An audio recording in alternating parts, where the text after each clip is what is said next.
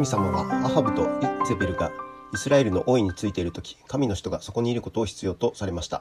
誰かアハブとイゼベルに対抗して立ち上がる勇気を持っている人でなければなりませんでした。神様はすでにその人を用意しておられました。預言者エリアでした。聖書に出てくる人たちのうちで最も偉大な人物の一人です。同時に彼はおそらく終わりの日を目撃するために地上に戻ってきます。彼が帰ってくることは予告されています。エリアはとても劇的に私たちに紹介されます。彼は大股でアハブとイゼベルの宮廷に入ってきてとても勇気のある宣言をします。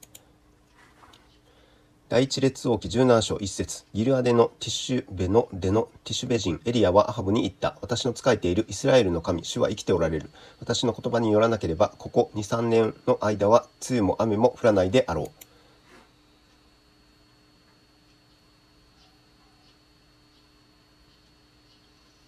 エリアはアハブとイゼベルの宮廷に入っていって最新の天気予報をしました。彼は自分の言葉によらなければ雨が降らないこと、そして自分は町から去ると言いました。彼らはエリアが率直に話す習慣があるということにこれから気づきます。エリアは豪健な人物だったという印象を受けます。まさに彼はそのような人物でした。でもここで彼について言っておくべき他のことがあります。神様はこの人を訓練されなければなりませんでした。神様はいつでもご自分がお持ちになる人物を荒野に連れて行って訓練するという方法をとってこられました。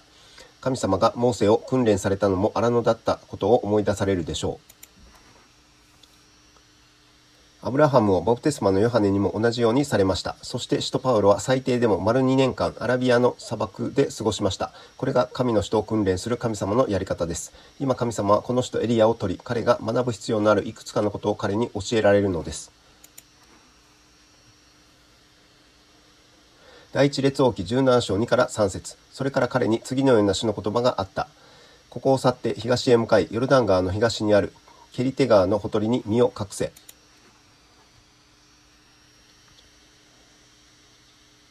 神様はエリアにできるだけ遠くへ行って田舎に身を隠すように命じておられます。そこで彼は荒野に出て行って小さな川のほとりに来ました。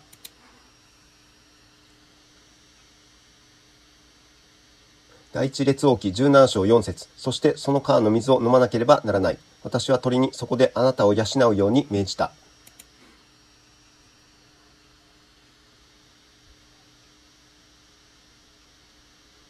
神様は荒野で2つの方法を用いてエリアを養われました。一つは小川で、これは自然の手段です。彼は水を飲まなければなりませんでした。もう一つは超自然の手段です。カラスが来て彼を養うというのです。エリアはしばらくそこにいましたが、小川が枯れ始めました。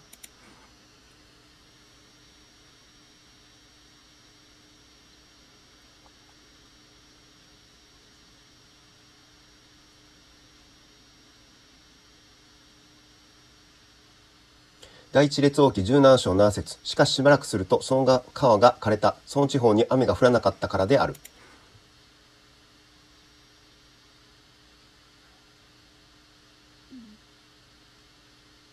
エリアがだんだんに細くなっていく小川を見たとき、彼は霊的なレッスンを学びました。彼の小川は枯れた小川でした。それはただ生ける水が流れる可能性のある小川であり、水量である以外の何者でもありませんでした。主イエス・キリストは言われました。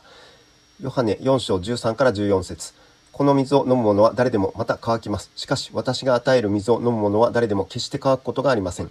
私が与える水はその人のうちで泉となり永遠の命への水が湧き出ます。時々私たちは私を祝福としてくださいという歌を歌いますが、半分の人たちは言葉の意味を知らないと思います。人生の至るところ、人々は疲れ、悲しい。暗闇が広がる中に太陽の光を運び、悲しんでいる者を喜ばせよう。私を祝福としてください。私の人生からイエス様が輝き入れてくださるように、私を祝福としてくださるように、私は祈ります。今日誰かのために私を祝福としてください。この歌はあなたが空っぽの小川であなたには命の水はないのだということを意味しています。命の水としての神様の御言葉があなたを通して流れる時にだけあなたは祝福の水路となることができるのです。エリアはそのことを学ばなければなりませんでした。神様の御言葉が私たちを通して流れるのでない限り、あなたも私もただの干上がった小川なのです。第一列王記17章8から12節すると彼に次のような主の言葉があった。さあ、シドンのサレファテに行き、そこに住め。見よ、私はそこの一人の山目に命じてあなたを養うようにしている。彼はサレファテへ出て行った。その町の門に着くと、ちょうどそこに焚き木を拾い集めている一人のヤモメがいた。そこで彼は彼女に声をかけていった。水差しにほんの少しの水を持ってきて、私に飲ませてください。彼女が取りに行こうとすると、彼は彼女にを呼んでいった。一口のパンも持ってきてください。彼女は答えた。あなたの神、主は生きておられます。私は焼いたパンを持っておりません。ただ、亀の中に一握りの粉と、壺にほんの少しの油があるだけです。ご覧の通り、2、3本の焚き木を集め、帰っていくって、私と私の息子のためにそれを調理し、それを食べて死のうとしているのです。ヤモメが自分の話をした後、エリアは彼女に家に入ってパン菓子を作るように命じます。彼はヤモメに彼女は死ぬことはないと保証します。第一列王記17章13から14節エリアは彼女に言った。恐れてはいけません。言ってあなたが言ったようにしなさい。しかしまず私のためにそれで小さなパン菓子を作り、私のところに持ってきなさい。それから後にあなたとあなたの子供のために作りなさい。イスラエルの神、主がこう仰せられるからです。主が地の上に雨を降らせる日までは、その亀の粉は尽きず、その壺の油はなくならない。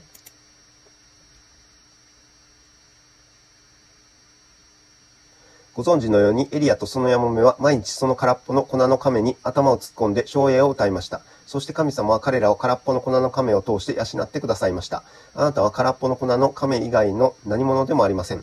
今日あなたにも性別ということについて今日あまりにも性別ということについて耳にします。私たちは自分の能力を主に捧げるべきだというのです。あなたも私も神様にお捧げできるものなど何一つ持ち合わせてはいません。命の水と命のパンが私たちのうちに入れられるまで私たちは無なのです。私たちは自分たちが空っぽの粉の亀であることを思い出す必要があります。第一列王記17章17節これらのことがあって後、この家の主婦の息子が病気になった。その子の病気は非常に重くなり、ついに息を引き取った。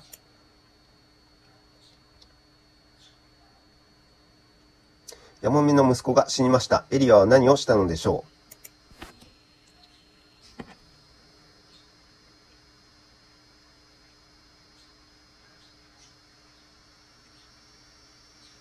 第一列王記17章19から22節彼は彼女に、あなたの息子を私によこしなさいと言って、その子を彼女の懐から受け取り、彼が泊まっていた屋上の部屋に抱えて上がり、その子を自分の寝台の上に横たえた。彼は主に祈って言った。私の神、主よ、私を世話してくれたこのヤモメにさえも、災いを下して彼女の息子を死なせるのですかそして彼は三度その子の上に身を伏せて主に祈って言った。私の神、主よ、どうかこの子の命をこの子のうちに返してください。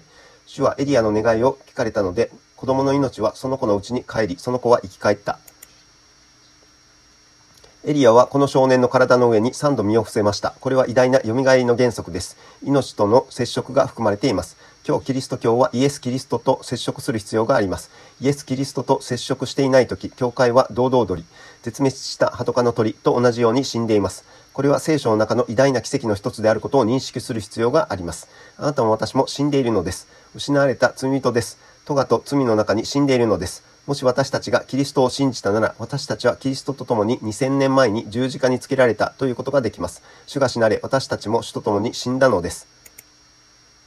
主は蘇られ、私たちも主と共に蘇らされました。私たちは今日生けるキリストにつなぎ合わされています。もし私たちが主につながっていないのなら私たちは無です。主とパウロは次のように表現しました。ガレテヤ人のへの手紙2章20節私はキリストと共に十字架につけられました。もはや私が生きているのではなく、キリストが私のうちに生きておられるのです。今私が肉にあって生きているのは、私を愛し、私のためにご自身をお捨てになった神の御子を信じる信仰によっているのです。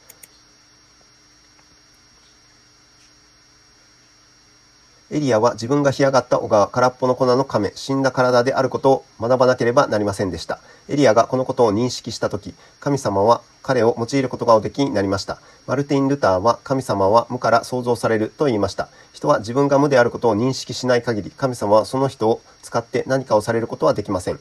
今日の私たちの多くの問題はそれです。私たちは強すぎ、能力がありすぎるので、神様は私たちを用いることがおできにならないのです。